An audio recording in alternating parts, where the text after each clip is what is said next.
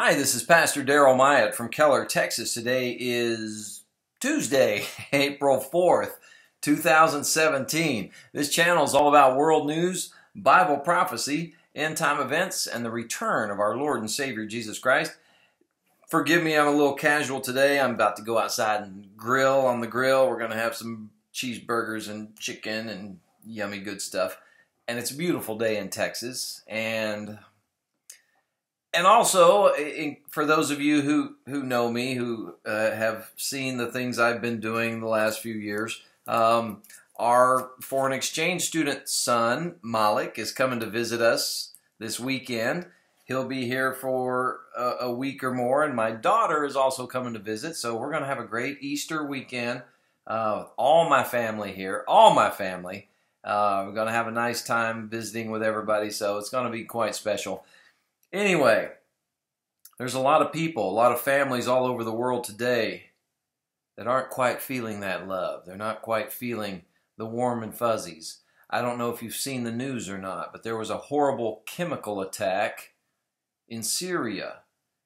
I watched a few videos and was just appalled at the horrible, painful deaths that a lot of people, including women and children, were suffering because of this chemical attack in Syria. Out of United with Israel, Netanyahu shocked and outraged by Syrian chemical attack. He said, When I saw pictures of babies suffocating from chemical attack in Syria, I was shocked and outraged. This story says more than 60 people were killed in this chemical weapon strike by either Syrian or Russian army jets today in Syria's northwestern province of Idlib. Um, British based Syrian Observatory for Human Rights is reporting this story. I saw another story just moments before starting to film that said over a hundred people were dead so far in this chemical attack. In the videos, people are stripping down to almost naked, and, and people are hosing them off with water to try to rinse these chemicals off of them. But there's other people in the videos that are just like gasping for air that they never get foaming at the mouth and, and vomiting and, and dying a very painful death.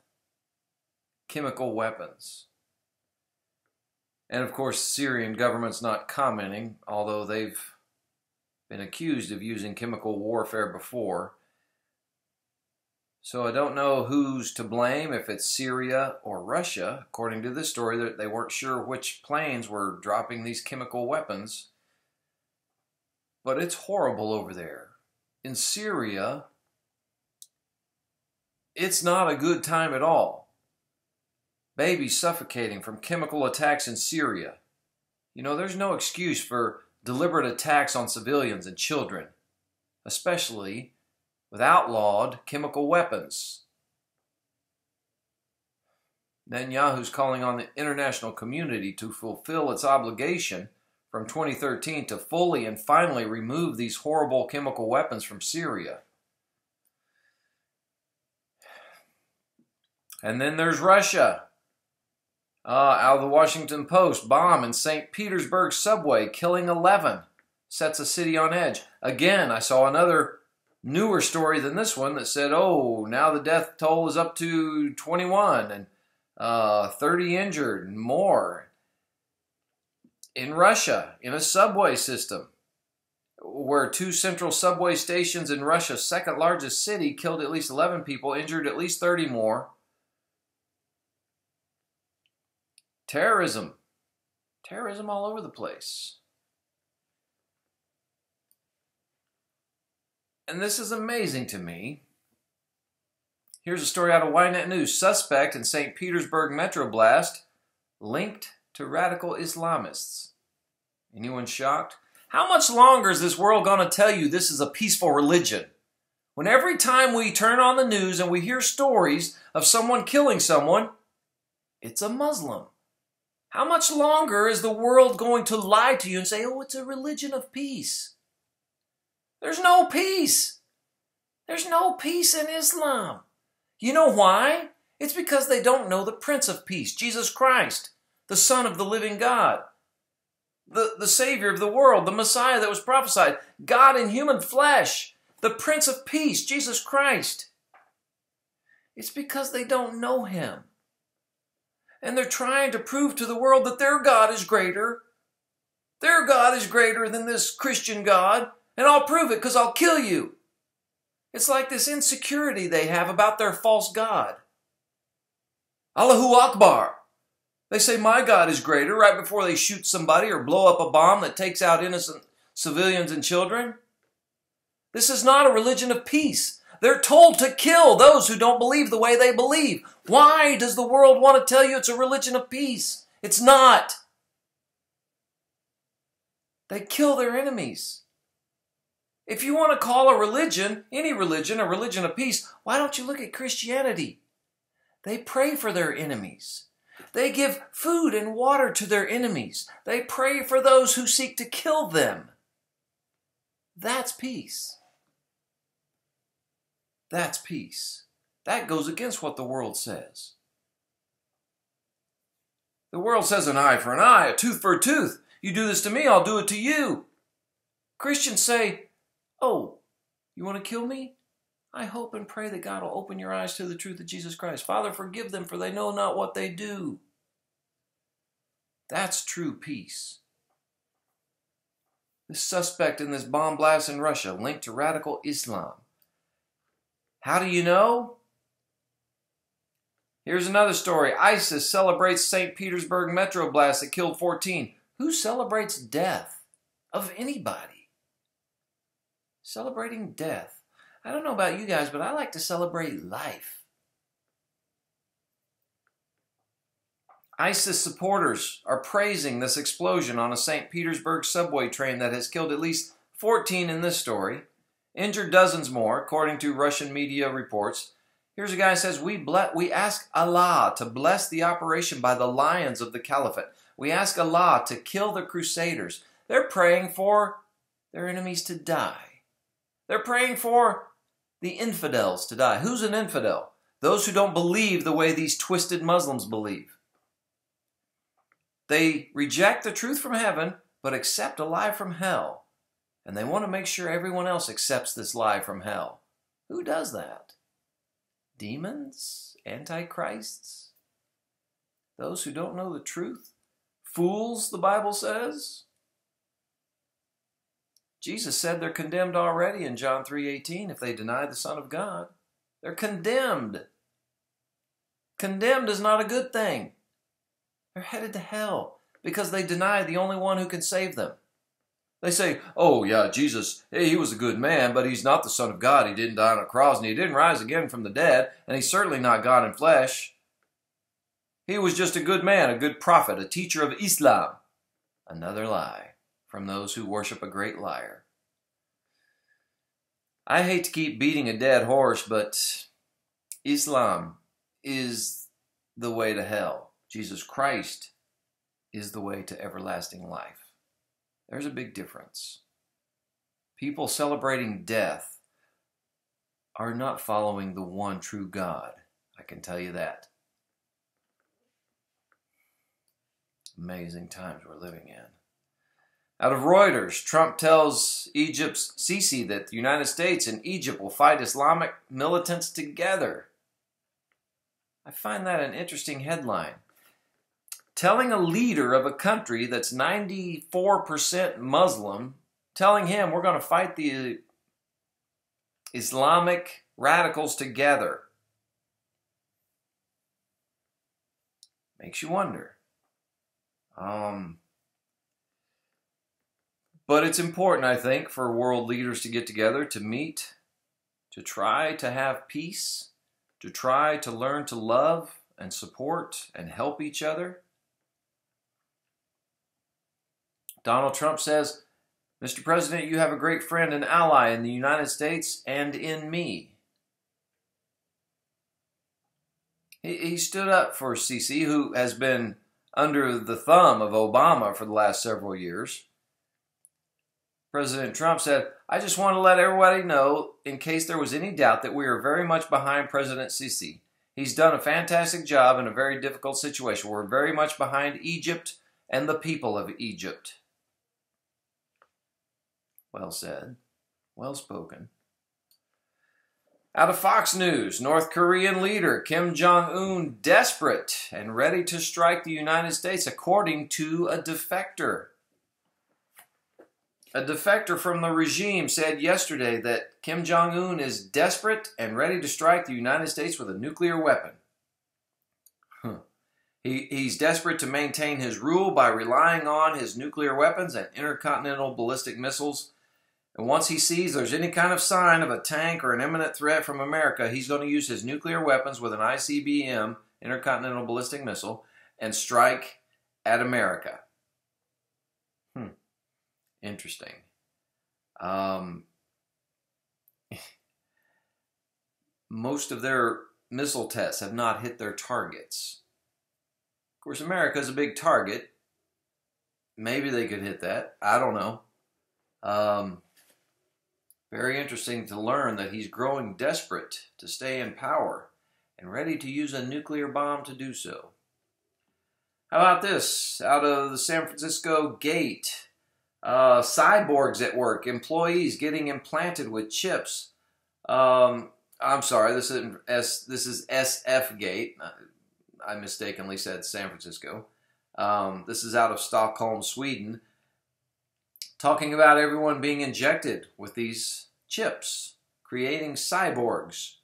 Uh, this company, uh, what's the name of this company? Epicenter.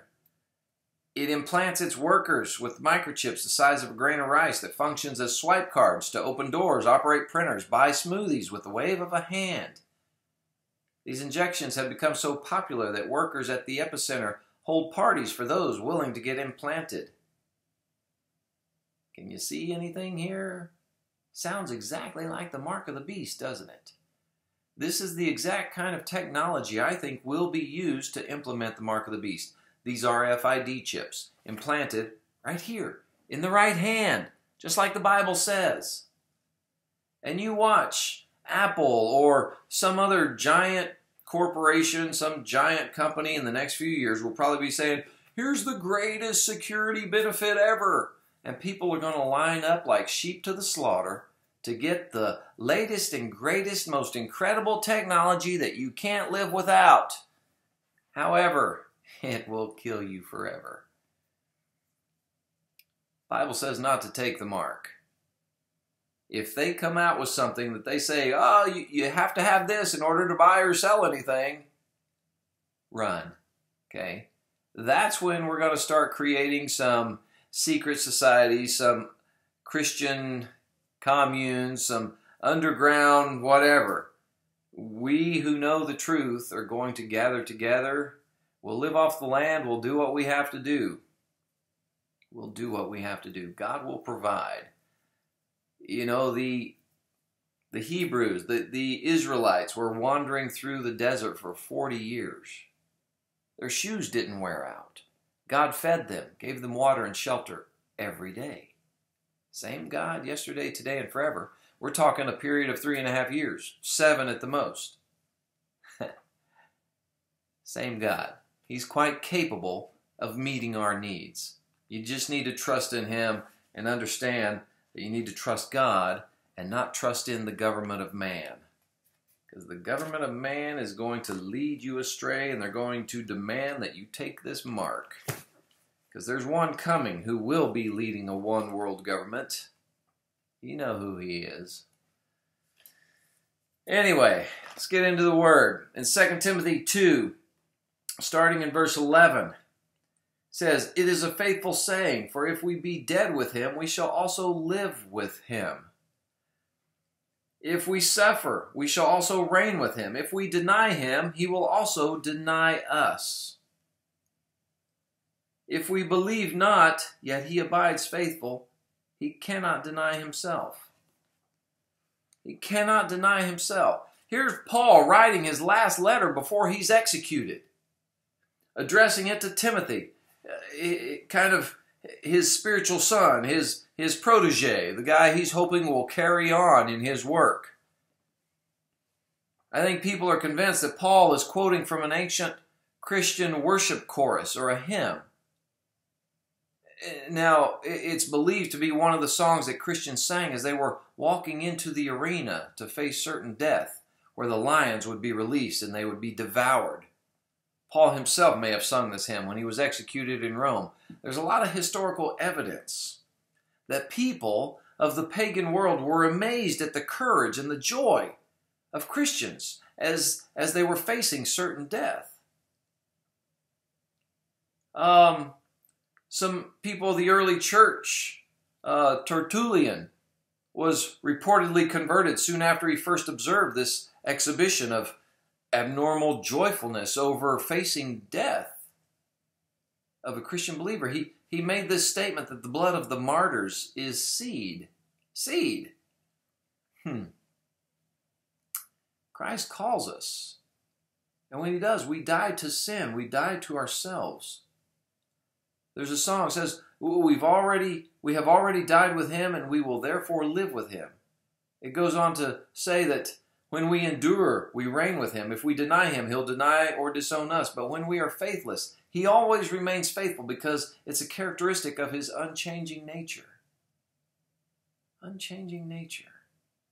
People dying as martyrs for the faith, standing up for what they believe in, saying, I'm going to stand strong on God's word. I don't care what kind of lies, what kind of deception you throw my way. I'm going to believe Jesus Christ is the only way to God the Father. He died on the cross, He rose again from the dead, and He's coming back again, just like He said. I'm not going to fall for lies of any other any other gospel, any other word. Not going to fall for the lies of Islam. Not going to fall for the lies of Buddhism. Not going to fall for the lies of Scientology or atheism or uh, New Age, whatever. Christ is the only way to God the Father. The world gnashes its teeth when they hear this. Oh, not that word. They don't want to hear there's just one way. They want to believe that all roads lead to God. Everyone's going to heaven. We're going to have Muslims and atheists and Christians and Scientologists and, and Buddhists and, and Mormons and monks and, and nuns and priests and everyone just sitting around a big campfire singing kumbaya, holding hands, loving each other, and all going to heaven. Just one big heavenly train. Sorry. Hate to burst your bubble, but that's not the truth. The truth is Jesus Christ. He said himself in John 14, 6, I am the way, the truth, and the life. No one comes to God the Father but by me. That means there is no other way to God except through Jesus Christ, the Son, Lord and Savior, the King of kings, Lord of lords. All power and authority of heaven and earth has been given to Christ. He's God in human flesh. Father, Son, Holy Ghost. In 1 John 5, verse 7, it says there are three that bear record in heaven the Father, the Word, and the Holy Ghost. And these three are one.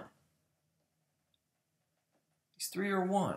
We serve one God. We worship one God. The fact that God has appeared in three different forms doesn't mean it's three gods. It's one God.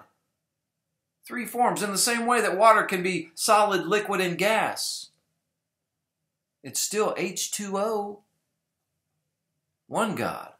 Muslims love to say, oh, you guys worship three gods. No, we don't. We worship one God who's appeared in three forms. Who are you to say what God can do? Who are you to try to put God in a box? Who are you to say God can't appear in such a way?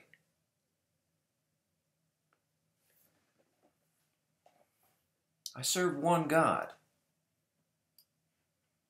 John 3 16, probably the most famous scripture of all, the Holy Bible. For God so loved the world that he gave his only begotten Son, that whosoever believes in him should not perish, but have everlasting life. Everlasting life. You know, you keep hearing of people talking, oh, yeah, Muslims, Christians, they worship the same God. No!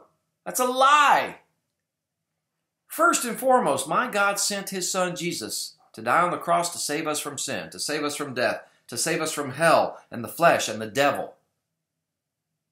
In Islam, Allah has no son. It's blasphemy to say he has an heir, that he has a son. It's blasphemy. That alone disqualifies anyone saying we worship the same God. I can give you about 30 more things that disqualify Islam and Christianity as worshiping the same God.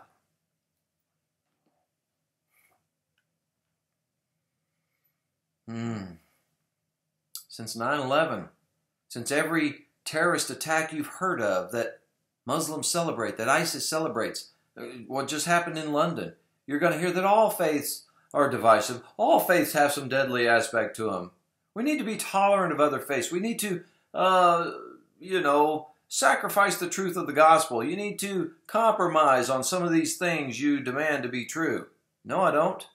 Christ is the only way. There's no other name under heaven by which you must be saved. Jesus said, I will come again. I'm going to go and prepare a place for you, and I will come again. And I'll receive you so that you can be where I am. I can tell you right now, I don't want to be where Muhammad is because he denied Jesus. So, yeah, he's burning in hell. And everyone who follows after him and his false gospel will end up there also. That's why I speak the truth of Christ. I'm hoping and praying that I can send a roadblock, send a message to those who are on this highway to hell and say, look, wrong road, make a U turn, exit here. Here's a, here's a way to be saved. His name is Jesus, and He died to save you.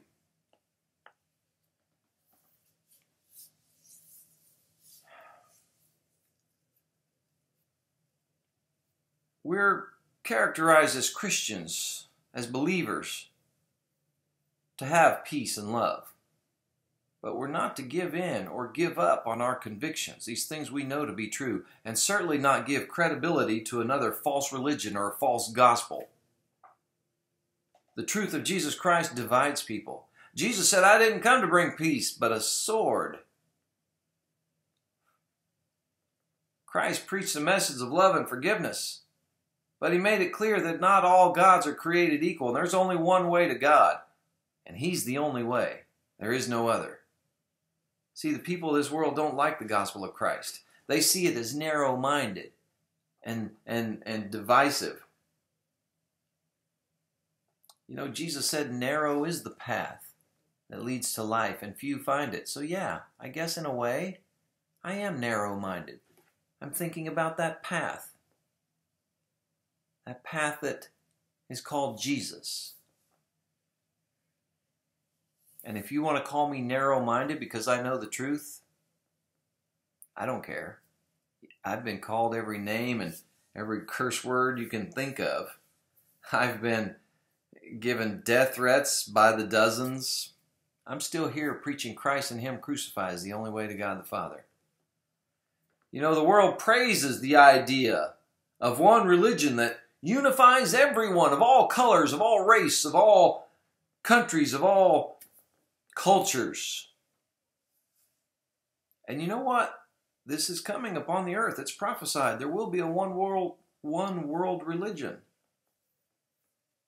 Uh, Daniel speaks of it. Revelation speaks of it. Even Isaiah speaks of it.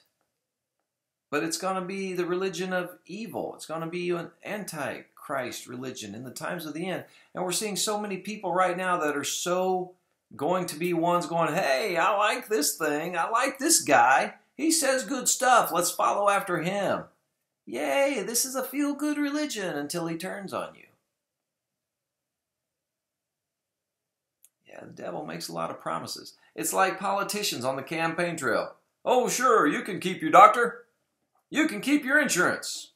and then what? Yeah, your uh, your bill tripled or quadrupled, and you can't keep your doctor. It's kind of like that. The devil's a liar. He comes to steal, kill, and destroy. And he's the father of lies, Jesus said. Jesus Christ is the Prince of Peace. Christ is the only answer to problems of this world. We must never compromise on the truth of God's Word. We must never give in on our convictions, no matter what they do to us, no matter what they say about us, no matter what they threaten us with. In Matthew 6, verse 1, Jesus said, Take heed that you do not your alms before men to be seen of them, otherwise you have no reward of your Father which is in heaven. What's your motivation?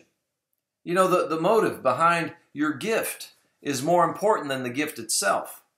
You know, Paul said if he gave all his goods to feed the poor, or if he made the ultimate sacrifice of giving his own life for someone else, and it wasn't motivated by love, his gift would profit him nothing. 1 Corinthians 13 3. You know, a lot of Christians faithfully give week after week at church. You know, they write out the check or they, they drop a C note in the plate as it's passing by, but they never see that hundredfold return that the Lord promised because they have the wrong motives. Mark 10, 29 through 30. Paul said God loves a cheerful giver, not one who gives grudgingly or out of debt or out of contempt. Uh, 2 Corinthians 9, verse 7. Jesus kind of gave us the key to making sure that our motives were pure in this teaching. He said, But when thou dost alms, let not thy left hand know what thy right hand doeth. Matthew 6, verse 3. Giving in a way that you won't receive any kind of recognition for your gifts will guarantee that your motives are right and give you the true joy that comes through selfless giving. Acts 20, verse 24. So if you're giving so you can have a good tax write off, or if you're giving so, you know, that, that cute brunette uh, down the aisle will see you put something in, you're hoping to maybe go have lunch with her after church, or if you're giving because you want to make sure that the preacher knows that next time you complain about the temperature in the church, he'll turn the thermostat down because he saw you giving. Wrong motives. Wrong motives. Or if you think, oh, if I throw some money in the plate, I'll go to heaven. Yeah, no. You can't buy your way into heaven. Or you would see Oprah there and Bill Gates and all the richest people in the world. have a feeling not going to be a whole lot of rich people there. There will be some. Ask God to show you an opportunity or, or a way today where you can give a kind word or, or you can help someone out or uh, maybe do something for someone who can't possibly repay you or doing something for someone where no one will ever know you did it. You'll never receive any accolades, no pats on the back, no attaboys. You're just doing it out of love because you love God and you love others. You know, maybe you're in a traffic jam. You see somebody on the side of the road. Their, their car's overheating and steaming. Their hood's up. You're just like, yeah, I'm a little busy. I'm going two miles an hour, but I'm too busy to help that guy. I should be home about an hour. Gotta make dinner. Uh, gotta let the dogs out. We're all busy.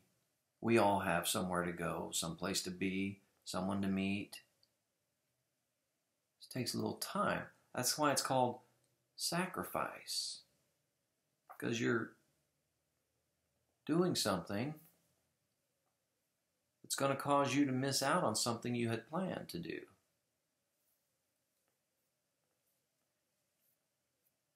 Um, maybe a coworker, someone at work, or a spouse, or a kid who won't even notice something nice that you do for them, or all kinds of people. There's all opportunities all around us. All around us. I've had people recently really coming down on me because I talk about Bible prophecy they're like, what are you talking about Bible prophecy for? Yeah, that's kind of silly. That's kind of a waste of time. You're distracting yourself from the gospel. really? Let me um let me read something to you from God's holy Bible in uh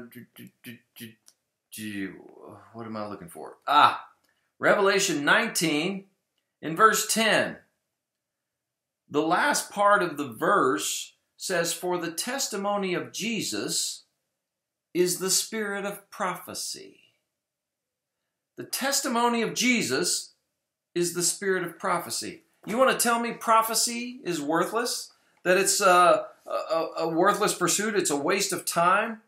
People think, oh, why does Bible prophecy matter? You shouldn't spend time studying Bible prophecy. You know, it's so negative. It's gloom and doom. Really? A waste of time? Gloom and doom? A negative thing? How can the return of Jesus Christ the King be a negative thing? I can tell you how. It's negative for those who don't know him, because then they're going to face everlasting hell. It's negative for them. It's glory and joy for those of us who know him as Lord, Savior, and King. Um, in Revelation 21, verse 4, And God shall wipe away all tears from their eyes. There shall be no more death, neither sorrow, nor crying, neither shall there be any more pain, for the former things are passed away. Does that sound negative to you? Does that sound like something I shouldn't be looking forward to? Does that sound like something I shouldn't waste my time with? People love to criticize Bible prophecy. You know, they're like, oh, you one of those date setters? You one of those guys that telling me when something's going to happen? No, but I can tell you something is going to happen. I can tell you Damascus is going to be completely destroyed.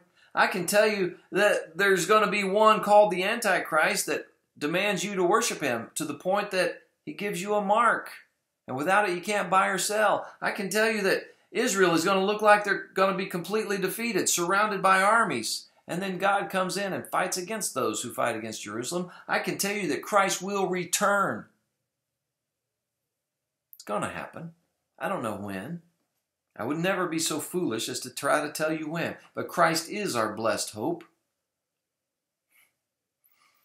I think a lot of people, and church leaders included, ignore Bible prophecy because they care more about what the world thinks than what God thinks.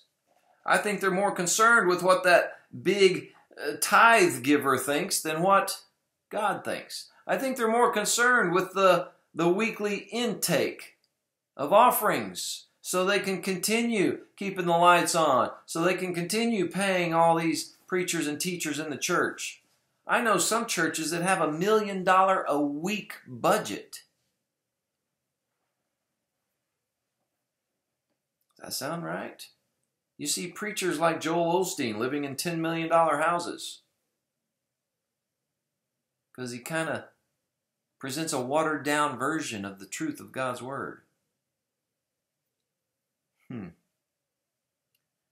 Hmm. Um, you know, it's so much easier to cover things like oh, seven ways to a better marriage, or God wants you to be prosperous, or how to live a better life, how to live a blessed life. Now, I'm not saying those topics don't matter. They do. God does want us to live a full and blessed life here on earth, but to ignore God's Word, to ignore Bible prophecy, is to ignore up to a third of God's Word. Some 28 to 33% of the Holy Bible is prophetic in nature. God tells you the end from the beginning. He tells you these things so you'll know that yes, He alone is God. He alone is omniscient. He alone is omnipotent. He knows everything, including what's going to happen tomorrow, next month, next year, next millennium. He knows already.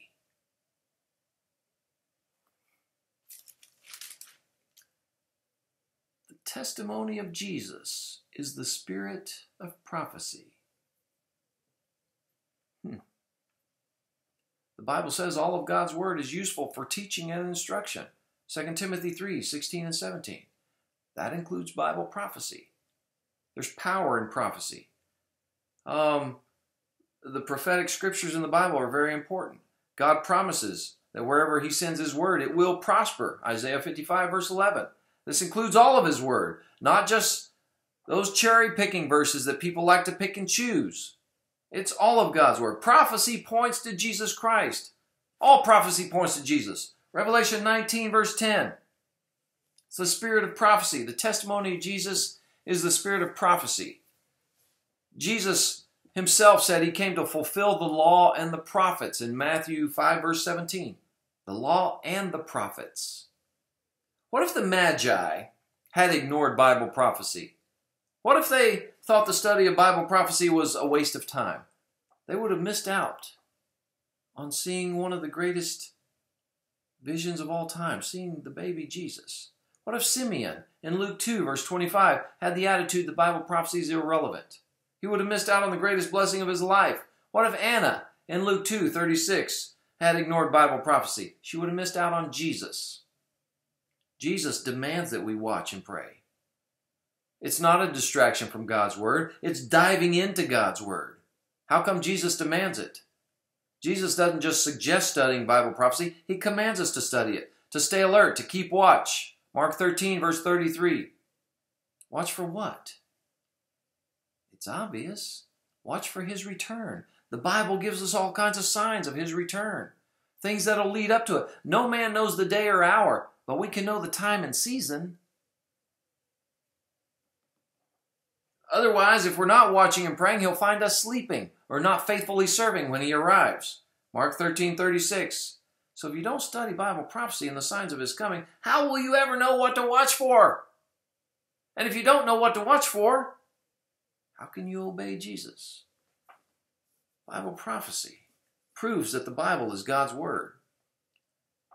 God said, Who else can tell the end from the beginning, or the beginning from the end? Isaiah 41, verse 21, and thereabouts.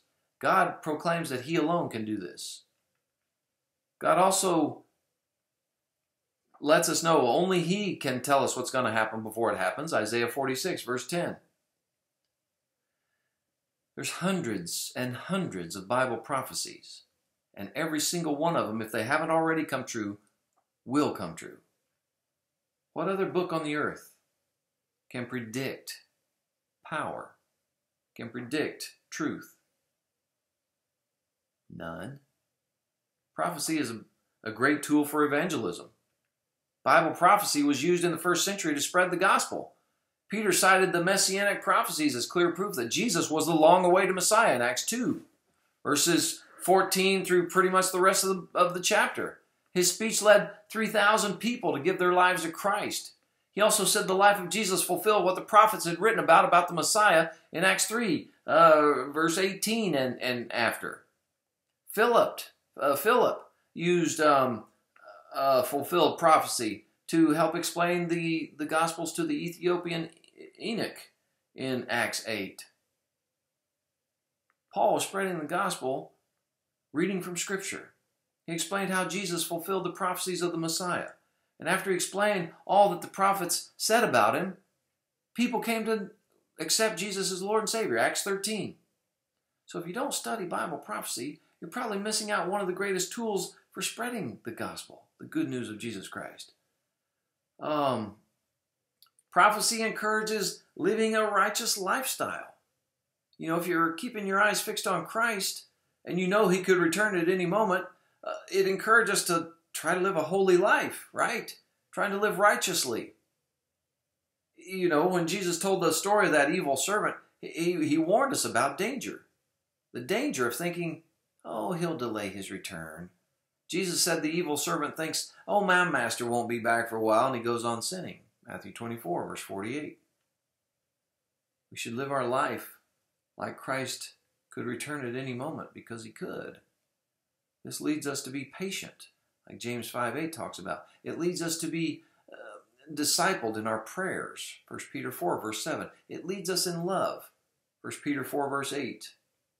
And it brings us to a point of wanting to use the gifts and talents that God gave us for His glory, 1 Peter 4, verses 10 and 11. And then when we're, we're waiting for the return of Christ, we'll live peaceful, pure, and blameless lives, 2 Peter 3, 11 through 14 prophecy gives specific blessings. Revelation of Jesus Christ. Revelation. I've been in the cave where John received this revelation of Christ. It's a message from Christ, it's a message of Christ. A crown of righteousness. Prophecy reveals the season of the Lord's return. Jesus said the world will be caught unaware when he suddenly returns, Luke 12 40. It'll be like the days of Noah and Lot. People will go on their daily lives until the day of destruction. But those who study Bible prophecy won't be surprised by his return. 1 Thessalonians 5, verses 4 through 6. We'll understand the signs. We'll know what we're looking at. We'll know the day or the season of his return. Jesus said, when you see all those things coming together, you can know his return is very near. Matthew 24, verse 33. So don't ignore Bible prophecy. Don't make fun of it. Don't discredit it. Prophecy is behind almost every promise that Christians cling to. The promise of heaven, the hope of salvation, the joy of eternity with Jesus Christ, the return of our Savior and King. These are promises from God. What is pro- prophecy if it's not a, a guarantee of future events from God Himself? So don't let others make fun of you. Don't let them discourage you from diving into Bible prophecy. You know, the world mocked Jesus. They ridiculed him. They laughed and mocked him and scorned him. So if you follow him, guess what? You're going to be laughed at, ridiculed, and mocked also. Matthew 10, 22 through 25. Bible prophecy is the message of Jesus Christ. And as a follower, as a servant of Christ, you have to be willing to endure persecution for his name. Jesus said, if anyone's ashamed of him and his message, he'll be ashamed of the, that person when he returns. Luke 9, 23 through 26. So don't be ashamed. Study Bible prophecy. Learn it. Dive into it. Let it enrich your life and lead you. Because the whole purpose of prophecy is to glorify Jesus. And after all, isn't that what we're here to do? I love you guys. God bless you. Good Lord willing. I'll see you again tomorrow.